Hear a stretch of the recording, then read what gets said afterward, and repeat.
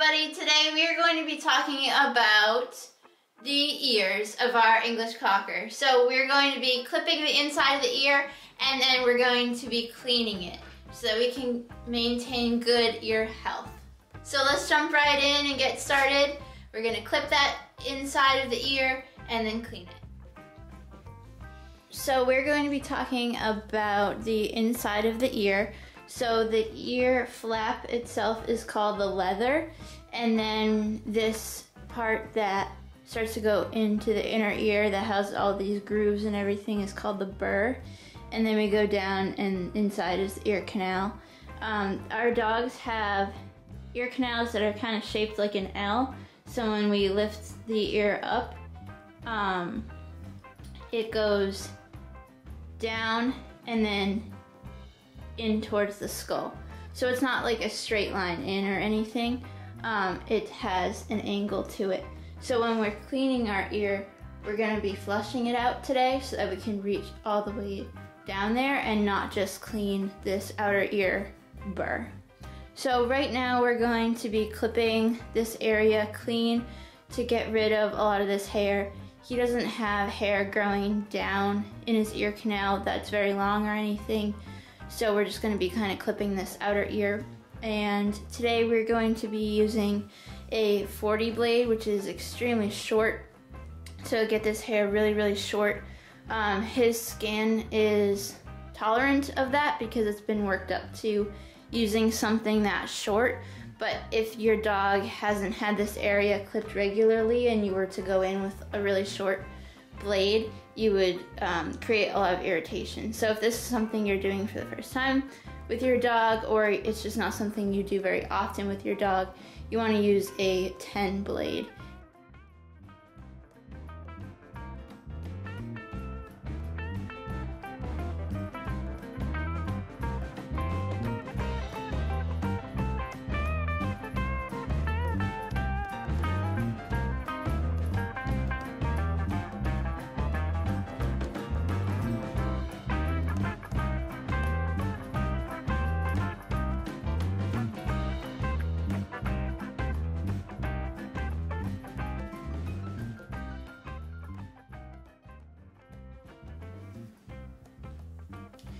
Now that we have a nice clean slate that isn't hairy anymore, we're going to be lifting up our ear and taking our ear cleaner and pouring it down into the ear.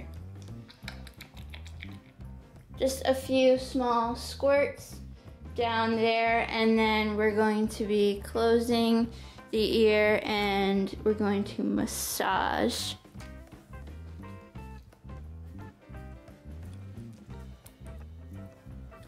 when you're gently holding up that ear, you can kind of feel with your hand what you're doing, and you're gonna hear the ear cleaner gushing around inside that ear.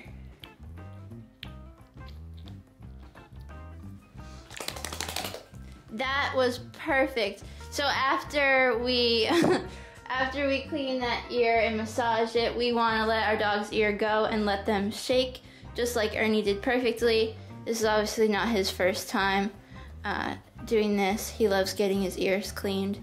And then we're just gonna take a cotton ball and we're going to wipe up that outer ear, anything that is residually there.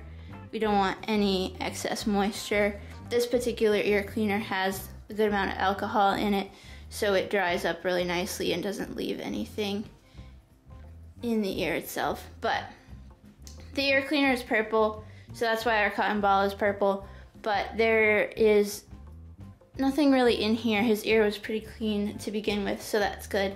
So we want to just continue um, cleaning the ears on a regular basis in order to maintain a good and healthy ear. So once we complete the uh, clipping of the inside of the ear and we have flushed it all out, we can do the same thing to the other side of the ear and then our dogs are able to maintain that nice and good healthy ear. Something to keep in mind is to start off with a 10 blade when you're working. um, with the ear, especially if your dog hasn't had their ears clipped in a while. Their skin needs to work up to a shorter uh, length of hair that can be maintained there.